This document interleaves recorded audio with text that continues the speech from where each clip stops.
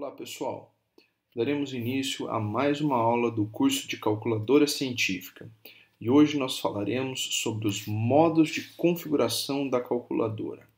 Bem, é, os modos de configuração da calculadora eles são acessados pelo botão Mode, tá? que se encontra na parte superior da calculadora. Nós falaremos um pouco de cada um e eu darei as dicas de quais são as, quais são as configurações mais relevantes para as engenharias de um modo geral. Tá? Bem, uh, o primeiro modo de configuração da calculadora seria, seria o modo de formatos de cálculo.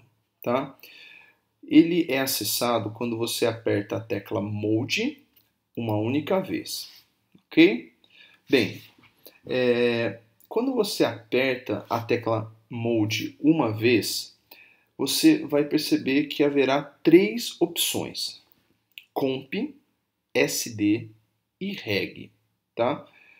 O que seria esses, essas três configurações? Bem, ao selecionar a opção 1 para o chamado formato de cálculo, nós estamos configurando a calculadora para trabalhar com cálculos aritméticos básicos. Isso inclui, logicamente, as funções trigonométricas, soma, multiplicação, radiciação, tudo isso, tá bom?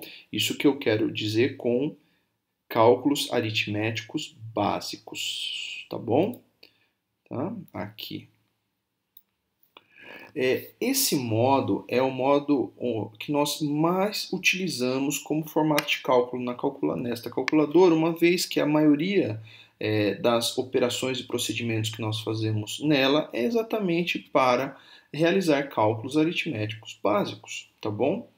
Agora, quando que nós devemos selecionar os outros dois modos de formato de cálculo, SD ou REG?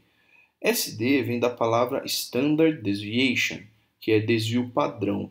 Esse modo tem que, ser, tem que estar selecionado quando nós iremos trabalhar com análise estatística. Tá?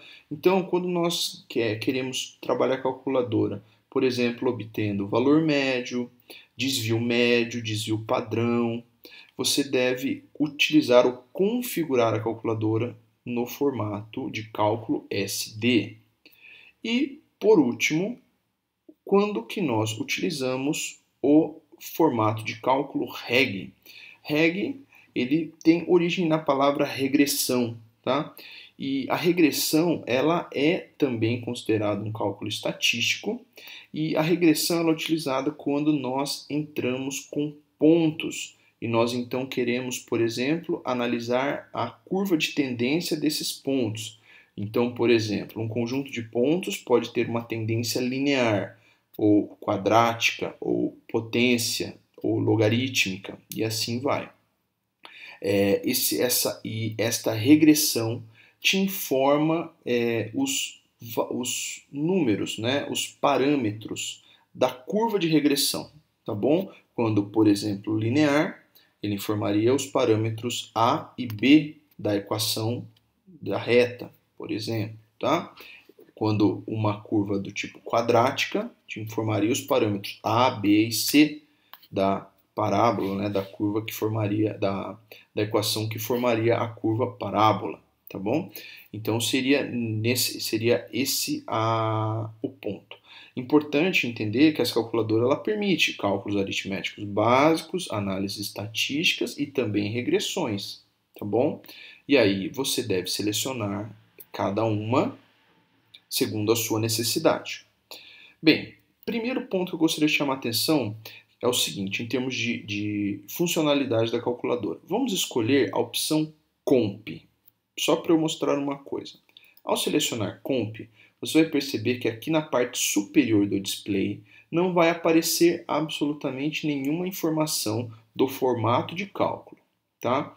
Ao selecionar a opção 2, SD agora, veja que aqui na parte superior da calculadora irá aparecer um indicativo aqui, ó, SD, apenas informando para nós que sua calculadora está colocada no formato de cálculo Standard Deviation, tá bom?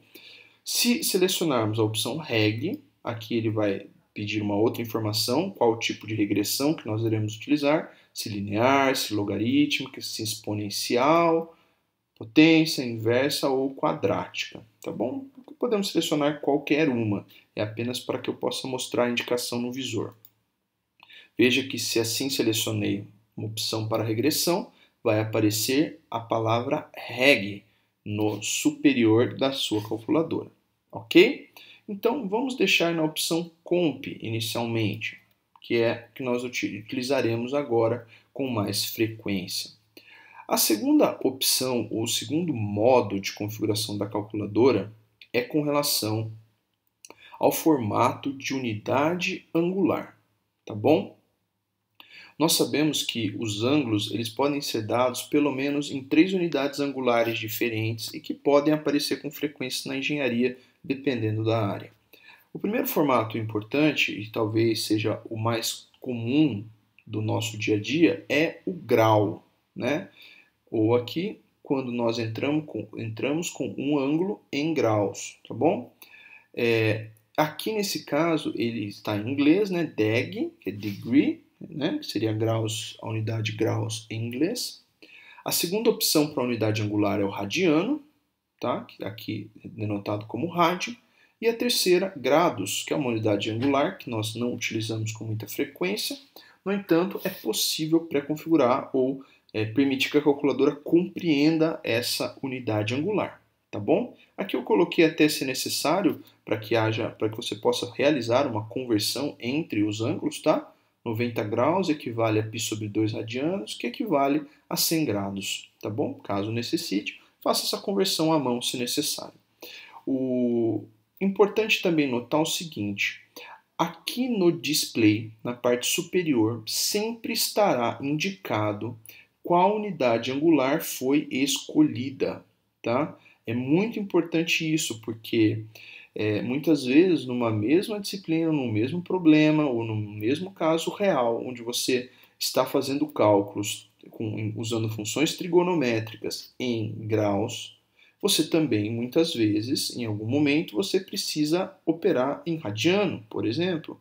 E nós, muitas vezes, por falta ou de experiência ou por desatenção, esquecemos de trocar a unidade angular da calculadora e isso faz toda a diferença uma vez que, por exemplo, seno de 30 graus é totalmente diferente de seno de 30 radianos, tá bom? Então, é importantíssimo tomar este é, cuidado, ok? Bem, vamos é, verificar apenas, ó, aqui ele mostra que a calculadora está configurada para graus, degree, então um Dzinho, tá bom? Veja, para isso nós clicamos a tecla Mode por duas vezes, ou até chegar neste menu, a opção 1 estabeleceria o ângulo em graus, a opção 2 em radianos e a opção 3 em graus, ok? Então, note apenas o seguinte, caso nós tenhamos selecionado a opção 2, ao clicar aqui, veja que no visor, na parte superior do visor, apareceria a letrinha R, quer dizer que está selecionado a opção radiano. A mesma idem acontece para a opção grados, tá? Opção 3, ó aparece um Gzinho, tá bom? E para o caso de graus, como estava inicialmente ali, vou colocar agora, opção 1, aparece um Dzinho, tá bom? Tome é, cuidado, pois dependendo do problema, isso pode realmente implicar é, em, em resultados totalmente equivocados, tá bom? Essa é uma configuração importante. Outra configuração que essa calculadora permite é com relação ao formato de exibição, ou seja, como que vai ser exibido o resultado, tá bom? Só tendo o seguinte, uh, o seguinte fato, né? Esse, essas calculadoras elas permitem que o número, o resultado aqui, ó, ele tenha até 10 dígitos, ou seja, ele pode ser mostrado de modo extenso com até 10 dígitos, tá bom? Uh, agora, como que nós configuramos esse, esse modo de exibição?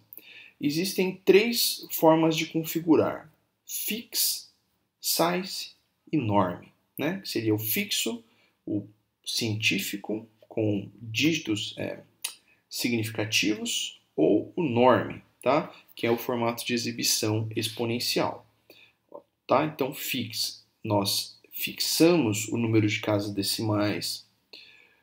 Esse size, ele na verdade coloca com base no número de dígitos significativos pré-estabelecidos e o norm, ele, ele tende a fazer com que o número entre sempre, é, que, ele, que ele tente ser exibido na forma de notação científica, tá? ou notação de engenharia, que é o mais utilizado por nós. Tá? Então, só para que a gente tenha uma noção, vou fazer uma configuração aqui, ó. Clicamos por três vezes até alcançar este menu aqui. Vamos primeiro fazer a opção Fix, só para entendermos. Quando clicamos na opção Fix, opção 1, ele pede para que nós colocamos, para que nós, é, nós precisamos dizer para a calculadora qual que é o número de casas decimais a serem fixadas, de 0 a 9. 0, ele não vai deixar nenhuma casa decimal. 9, ele vai deixar 9 casas decimais. Vamos dar, pegar um exemplo. Vamos colocar 3. Ok? Note que o número que ele coloca aqui, ó, ele sempre vai indicar com até 3 casas decimais. Aí você pode perguntar, mas e se o número tiver, é, o resultado ele, ele tiver 9, 10, é, 4, 5 casas decimais, ele vai fixar em 3. Vamos pegar um exemplo, ó. Vamos supor 1,596. Por aqui, 8, meia, tá bom? Vamos dar um igual. Ó, então você perceba, o número que nós colocamos, ele possui quatro casas decimais, mas como nós estabelecemos que ele irá fixar em apenas 3, ele vai pegar o último número aqui, que seria o número 6, e então arredondar o anterior, que seria o 8, para 9, uma vez que esse número está para cima de 5, tá? Então arredonda este para 9. Um detalhe, essa opção ele não trunca o número sem fazer o arredondamento devido, tá? Ele vai arredondar o número aqui. Se 5 para cima, ou se 5 para baixo, tá? Ele usa a regra de arredondamento, ok? E por fim, deixa eu apenas mostrar uma, uma um que é uma, uma opção de configuração que é para nós mais interessante, que é a opção norm. A opção norm, ele não fixa é, esse número de casas, tá bom? Mas ele tende a fazer com que o número ele fique completo e com tendência a ser colocado em notação científica, tá? Então vamos optar pela opção norm 1. Vou colocar um número aqui. Só que nesse caso eu irei colocar um número grande para que ele é, tente já colocar em notação científica sem que a gente precise acionar a tecla de notação científica, tá? Então, exemplo aqui, ó, vou colocar um número, um número grande aqui, tá? com bastante zero aqui, um número bem grande. Vou dar um igual, vamos ver como que fica. Olha lá. Você percebe que o número aqui, ele já fez a tendência de colocar o número em notação científica. Ó. Este número em notação científica pode ser escrito como sendo 1,5 vezes 10 a 12, tá bom? E na forma extensa ou na forma aberta, seria este número aqui, ok? Então, é isto.